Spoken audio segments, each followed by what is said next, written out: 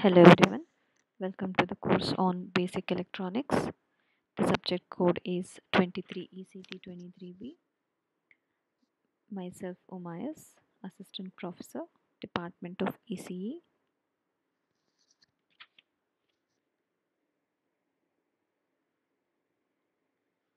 So in this session we will discuss about module 2 that is BJT and FET.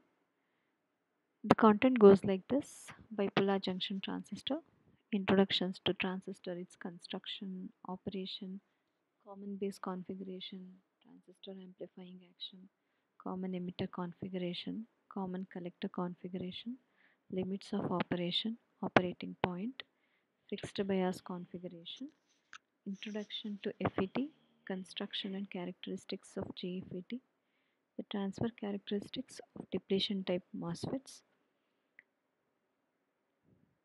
and enhancement type MOSFETs. So these are the content. So in this session, we're going to discuss few things about common base configuration, tr transistors amplifying action, common emitter configuration, common collector configuration. So before we start with the common base configuration, like few things about uh, BJT amplification, like current amplification the equations that demonstrates that a, a, transistor can be used for current amplification a small change in the base current that is delta ib produces a large change in collector current delta ic and a large emitter current change change that is delta ie so rewriting equation uh, and the current gain from the base to collector that can be stated in terms of the current level changes that is beta dc is equal to delta ic by delta ib. The increasing and decreasing levels of input and output currents may be defined as alternating quantities. So in this case, the small letters are used for the subscripts here. Thus IB is an AC base current, IC is an AC collector current, IE is an AC emitter current. The alternating current gain from the base to collector can be stated as beta AC is equal to IC by IB. As in the case of DC current gain, the two parameter symbols are available for common emitter AC current gain.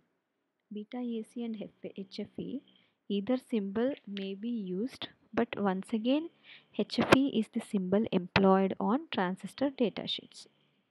Voltage amplification refers to the circuit and assuming that the transistor Q1 has beta DC is equal to 50. Note that 0.7 volts DC voltage source uh, forward bias is the transistor base emitter junction and AC signal source in series with VB provides plus or minus 20 millivolts input voltage.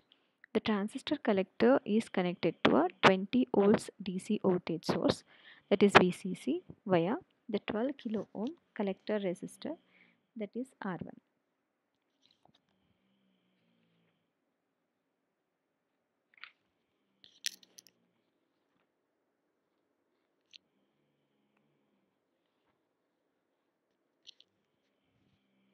Common base characteristics.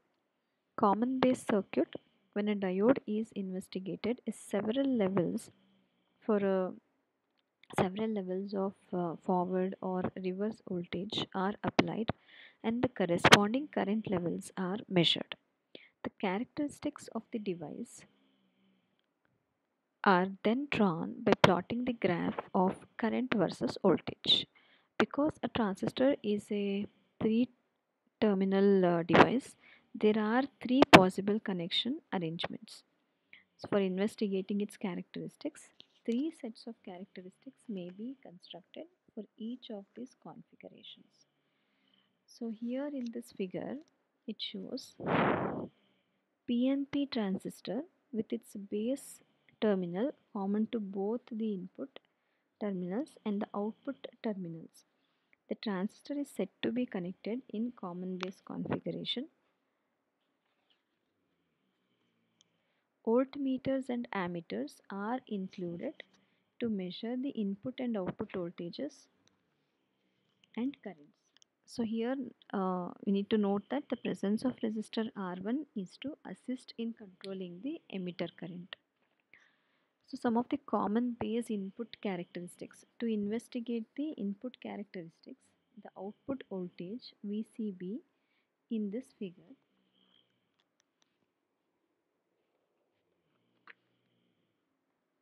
output voltage VCB is kept constant and the input voltage VEB is set at several convenient levels. At each input voltage, the corresponding input current IE is recorded. The IE and VEB levels are then plotted to give the common base input characteristics. Because the emitter base junction is forward biased, the characteristics are essentially those of a forward biased PN junction. Figure also shows that for a given input voltage, more input current flows when higher levels of collector base voltages are used.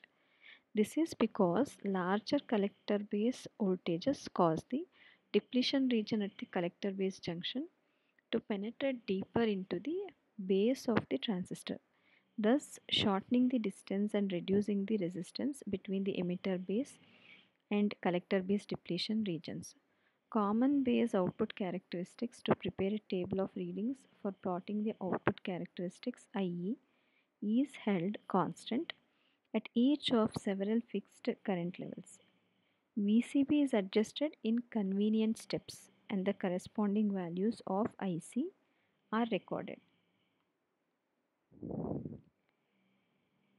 So the corresponding IC and VCB levels obtained when IE was held constant at 1 milliamperes are plotted. The resultant characteristic is identified as IE is equal to 1 milliamperes.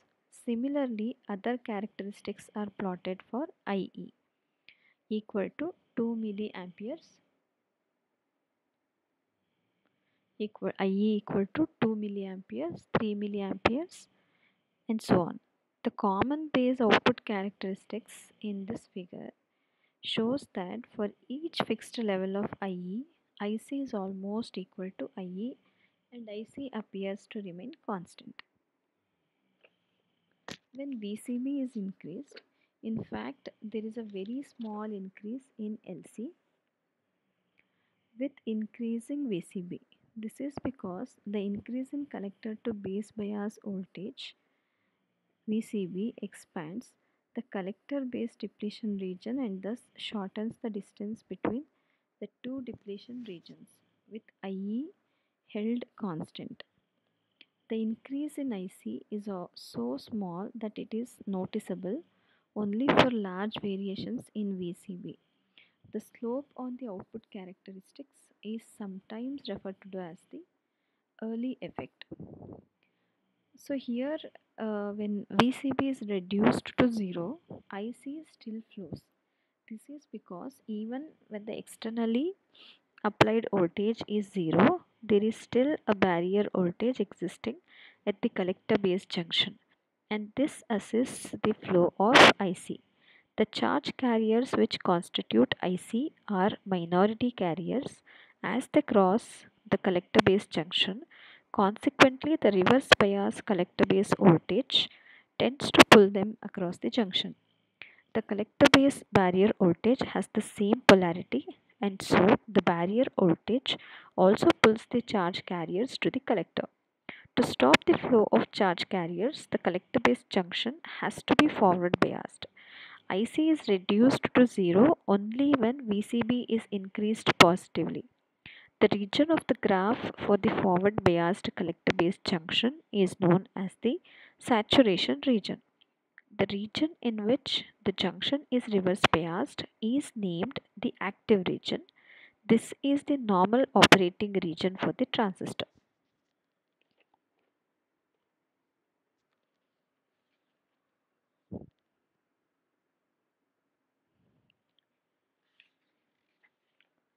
If an excessive reverse bias voltage is applied to the collector base junction, the device breakdown may occur.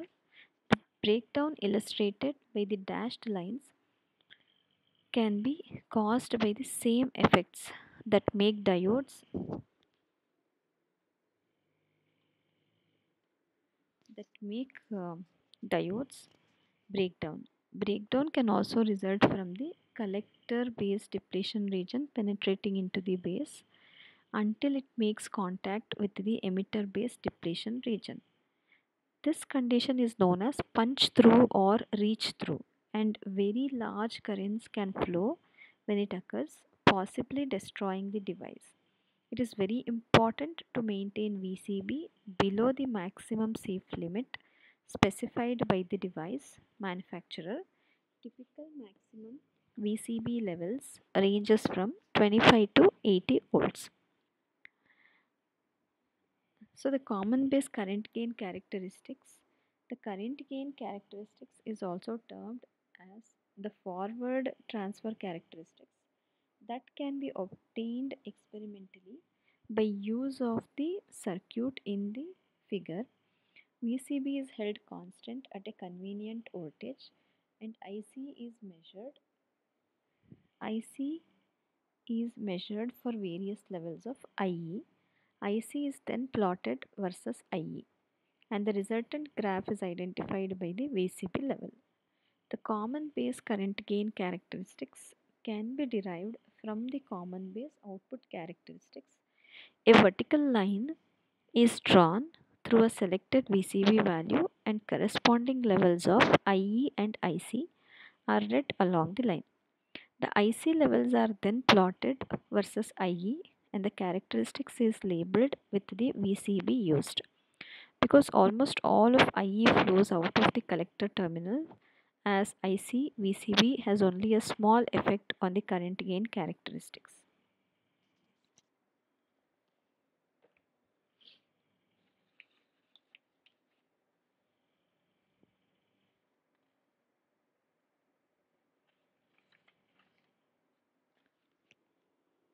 Next is common emitter configuration.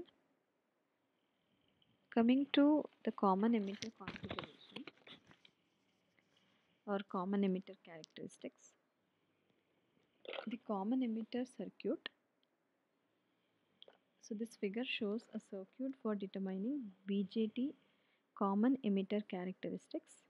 The input voltage is applied between the base and the emitter terminals and the output is taken at the collector and emitter terminals so that the emitter terminal is common to both input and output.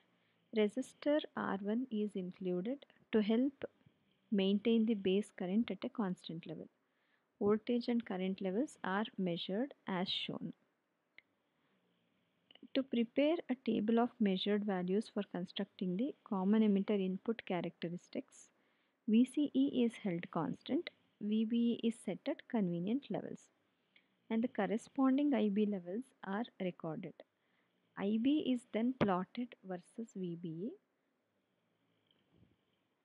As shown, it is seen that the common emitter input characteristics uh, are those of a forward biased PN junction. It should be remembered that IB is only a small portion of the total current that flows across the base emitter junction.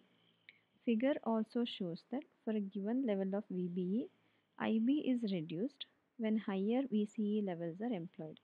This is because the higher VCE produces greater depletion region penetration into the base, reducing the distance between collector base and emitter base depletion regions. Consequently, more of the charge carriers from the emitter flow across the collector base junction and fewer flow out through the base terminal. So coming to the output characteristics. To obtain the table of values for plotting the common emitter output characteristics, IB is maintained constant at several convenient levels. At each IB level, VCE is adjusted in steps and IC is recorded at VCE step. The IC values are plotted versus VCE for each IB level to create the kind of output characteristics family shown in the figure. Note that the VBE and VCE polarities are negative for the characteristics shown. This is because a PNP transistor is being investigated. So the common emitter output characteristics uh, for a BJT are a graph of collector current IC plotted versus collector emitter voltage VCE for various constant levels of base current IB in the active region. So for each constant level of IB, IC increases by a small amount as VCE increases. IC is reduced to 0 when VCE becomes 0.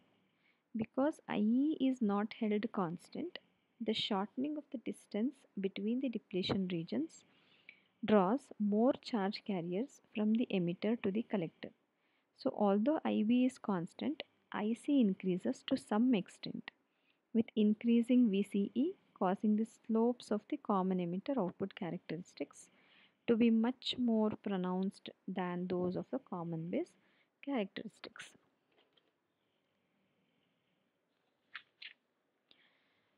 So the slope of the output characteristics is sometimes termed as the early effect. So this can be demonstrated that when the characteristics are extended to the left of the current axis, they will meet at a point on the horizontal scale. So this is illustrated. The voltage at the point of intersection is typically around minus 100 volts to minus 200 volts and it is known as the early voltage VA it is seen that the slope of the collector characteristics for a given level of IC can be calculated as RC is equal to VA by IC. The quantity RC represents the AC output resistance of the BJT at the collector terminal. Some computer programs use the early voltage for a particular transistor to determine RC for a given uh, collector current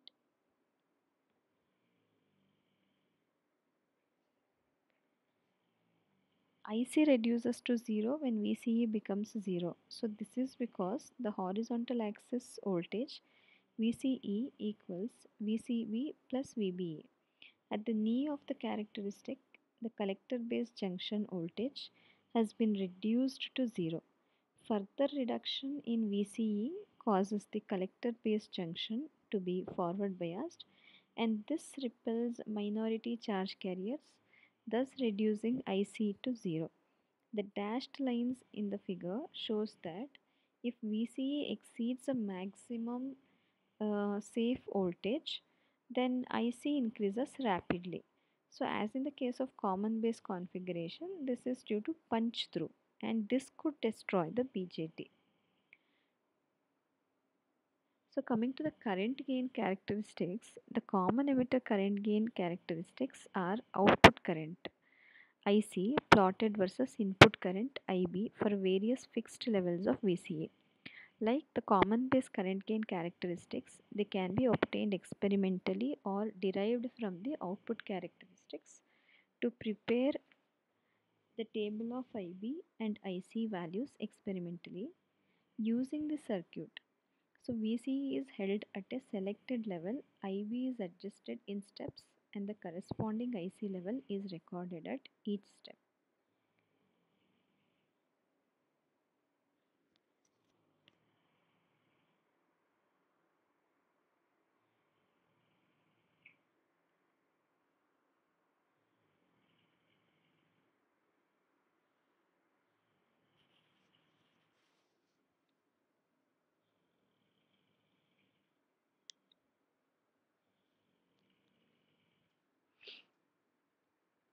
So next is common collector characteristics or common collector configuration.